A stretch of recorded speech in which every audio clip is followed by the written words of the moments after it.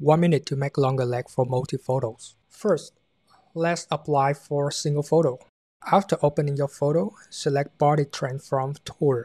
Select the level how much longer you want to apply to legs. There are three levels, less, normal, more. Choose more and done.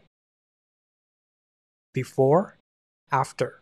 As you can see, although we choose maximum level of lengthening legs, the subject still looks very good.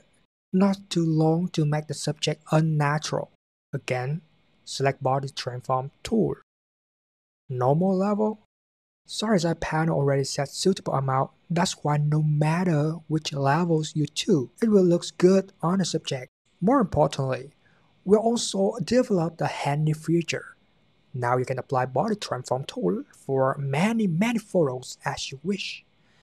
After open photos that you want to apply, select Batch Auto. Check on Body Transform box and decide how much longer of the subject legs. You can also apply this feature for the photo. Ensure to check on Processing file from the folder.